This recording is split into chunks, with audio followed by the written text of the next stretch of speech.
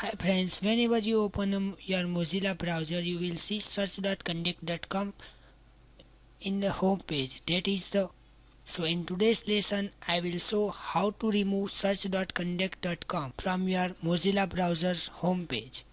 For that, first go to your address bar and type about semicolon C O N F I G and hit the enter button. Now in the search bar, type home page. In the value section, you see search.conduit.com just change it to google.com or whichever you like and hit the ok button. That's it. Now whenever you open your mozilla browser the next time you will see the google.com page are automatically shown on your home page.